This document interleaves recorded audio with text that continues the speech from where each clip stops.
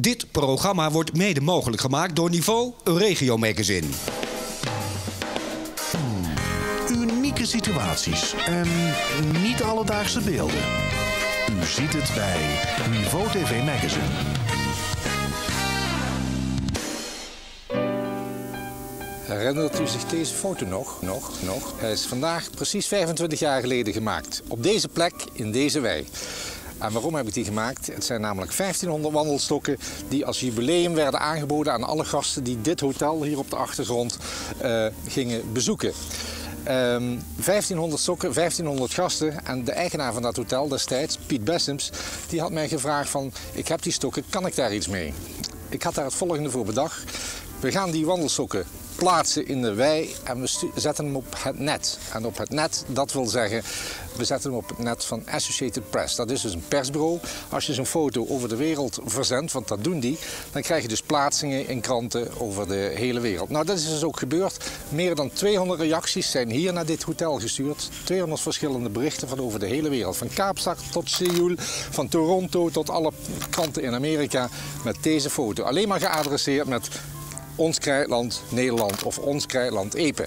Nu, vandaag zijn ze dus 75-jarig bestaan aan het vieren. En we gaan er dunnetjes over doen, deze actie. En degene die dat gaat doen is de zoon van Piet Bessems, Ruud. En we gaan opzoeken. En welkom bij deze uitzending van Niveau TV Magazine. Ja Ruud, daar staan we dan. Mooi hè? Uitzicht over een weilandje waar toen 1500 wandelstokken stonden. Ja. Je bent de zoon, 25 jaar later. Ik heb dat met papa gedaan. Vertel eens even, dit is een van de drie boeken? Ja, we hebben er drie. En, uh... Met reacties alleen al, hè? Uit de hele wereld? Eigenlijk over de hele wereld, ja. Van Canada tot uh, Toronto, uh, Seoul heb ik zelfs gezien, Kaapstad. Ja, het is uh, hartstikke leuk om te zien dat er zoveel mensen geïnteresseerd waren in, uh, in, die, uh, in dat wandelstokkenbos. En, we zullen eens even doorheen gaan. Ja. Natuurlijk begon het met ons eigen regionaal De Limburger. Ja. Daar begon het mee, maar ik heb ze dus ook even doorgezet. Volkskrant. De Volkskrant. Ehm, Hier zitten we in Dallas, in Texas. Dallas, Texas. We zitten Californië, in Californië heb ik gezien. We zitten hier kijken. al uh, in Los Angeles. We wandelen over heel Amerika heen. De Greenwich Village. Heel veel uit Amerika heb ik gezien. En het leuke is dat de mensen hele brieven erbij schrijven. Ja. Je, moet je, je kunt je niet voorstellen dat mensen zomaar spontaan hele brieven schrijven. Er zijn er ook die hele speciale wensen hebben, heb ik... Uh... Ja, ik heb, ik was, nou goed, ik heb het 25 jaar natuurlijk zelf uh, mogen meemaken. Want dat kleine mannetje daar, dat ben ik zelf. Ik ben inmiddels een beetje aangekomen. Maar er is een meneer bijvoorbeeld uit, uh, waar heb ik hem nou gezien ergens, uit, uh, uit Texas, die vraagt of hij een uh, wandelstokje kon krijgen. Ja. Of hem eventjes wilde toesturen. Dat hebben we dat gedaan natuurlijk. Wat ook leuk was, bijvoorbeeld mensen uit, dit is een personeelslid, mensen die hebben hier gewerkt. En die, die werkte in een Mövenpick restaurant in Zurich. En haalde dat uit de krant, heeft het overgetypt. En schrijft het personeel Hotel Ons Krijtland. Ja, want hartstikke leuk, want er is er ook eentje bij die die zegt ik kom hem wel even halen. Hè? Dat, ja, dat, uh, dat, was een, dat was een uh, meneer uit Texas. meneer, hier heb ik hem. Meneer Ernest uit Stewart, Texas. En ja, dat is misschien wel een aardig verhaal. Die meneer dat was, ehm, die is hier in de oorlog geweest. En die had thuis in zijn huis had hij een schilderijtje van een vakwerkhuisje. En laat hij nou dat vakwerkhuisje fotograferen. Hij ziet die foto en hij zegt, ik kom hem halen. Ik ben, ik ben helemaal gek van, van Limburg. Ik ben er in de oorlog geweest. Ja, dit is hem. Deze Harold T. komen halen. Hij is weg komen dus, halen. Uh... Nou. nou, gaat gebeuren hè? hey, die ken ik nog. Ja, die hebben we 25 jaar geleden ook gebruikt. Dezelfde mand. Wat heb je ja. ver gedaan de laatste 25 jaar? Uh, krantenbak. Kijk hier, dat is het dan. Dat is het nu. De nieuwe wandelstok. Ja. Hé, hey, kijk eens wat ik vind paar originele.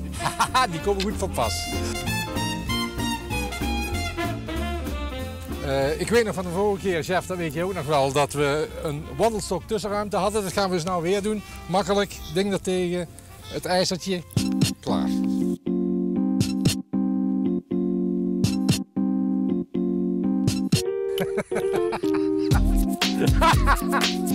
yeah.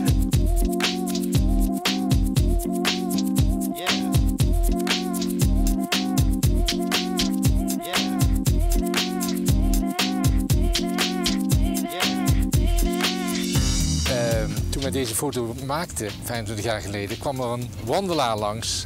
En die had een uh, gebroken voet, dus dat was een beetje hinkelen. En die liep dus op een kruk. Nou, die kruk hebben we als onkruid ertussen ingezet. Dat was een aluminium kruk. Nu zijn de wandelstokken van aluminium, dus dan moeten we ander onkruid hebben. En daar gebruiken we dus weer de echte wandelstok voor. De omgekeerde wereld, 25 jaar later. Hij stond hier ergens op de voorgrond. En Monique, de vrouw van Ruud, die gaat model spelen. Jij mag in dit geval die blouse aanhouden. Dat, dat was met dat moment uh, niet. Jij hebt al wat verzameld. Ruud, jij gaat fungeren op dezelfde plaats als 25 jaar geleden. Toen was je nog een mannetje van een jaar of 15. Dat is Ruud, 15 jaar geleden. Die stokken op je nek en we gaan de foto overmaken. En dan kijken wat het resultaat is aan het einde. Ja, Ruud, nog ietsje vooruit, ietsje vooruit, ietsje vooruit. Trouwens, uh, Ruud, wat ga je met die stokken doen? Wat is dat, waar zijn die voor? Die krijgen de mensen als ze een arrangementje boeken. Nordic Walking. Oh, dus als ze een arrangementje moeten in jouw hotel krijgen ze zo'n... Uh, Lekker arrangementje boeken, heerlijk eten, slapen en drinken. En dan krijg je twee stokken van mij. Zeker twee nachten, anders krijg je maar één stok, hè? Twee linker krijg je. een ludieke actie, 25 jaar geleden. Maar ook deze nieuwe actie bleef niet ongemerkt voor de pers. Zoals dit artikel bewijst, wat onlangs gepubliceerd werd.